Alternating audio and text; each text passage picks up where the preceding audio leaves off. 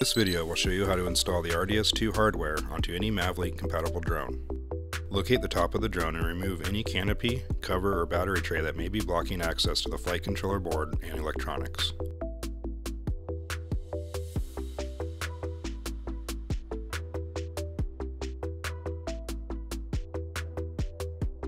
Remove any mounting kits and gimbals or sensors from the drone.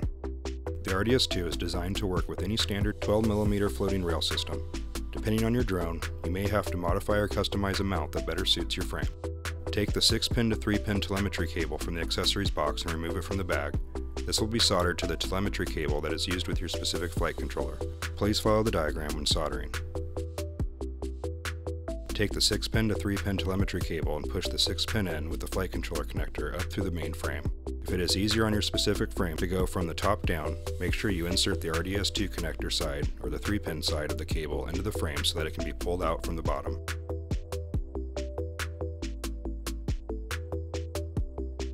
Find the telemetry 1 or telemetry 2 port on the flight controller and plug in the 6-pin connector.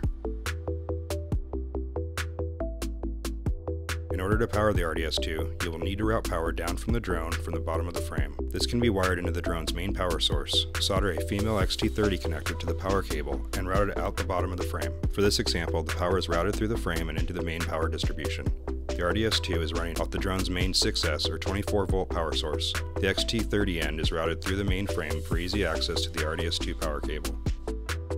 Locate the drone's 12mm mount rails. These will be used to mount the RDS2 to the drone's floating rail mount system. Slide the rails first through the rail clamps on the drone mount, through the RDS2 mounting holes, and then into the second set of clamps on the other side of the RDS2. This can be a tight fit and a little bit tricky, so a second set of hands can't help.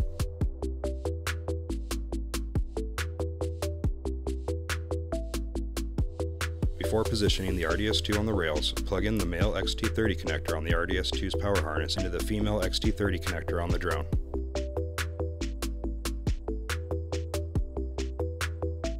Position the RDS2 on the mounting rail so that the CG of the drone is lined up with the hook of the RDS2. There may be space on either side of the RDS2 case and the rail clamps. You will need to use spacers to correctly position the RDS2 on the rails. Here, we are using 3D printed spacers. The spacers will also prevent the RDS2 from sliding during operation.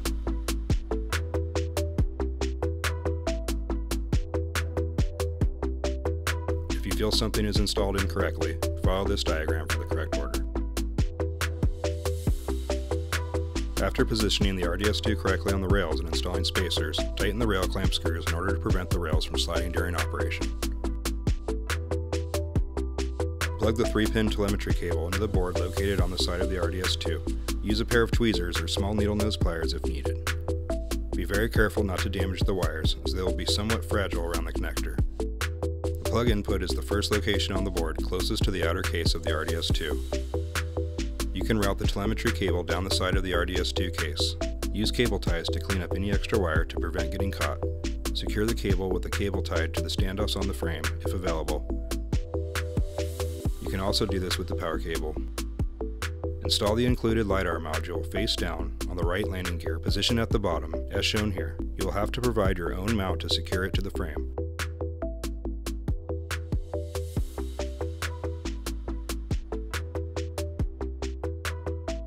Here, we are using a 3D printed LiDAR mount. Run the LiDAR cable up the landing gear leg using cable ties to secure it.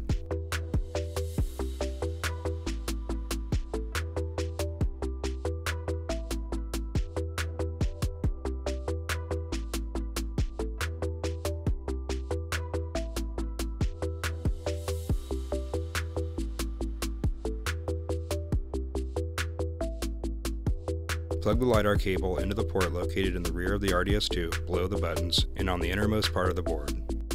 Reinstall any necessary sensors or cameras, then screw on the lid and battery tray. Watch the second part of this video series to learn how to install software for your RDS2.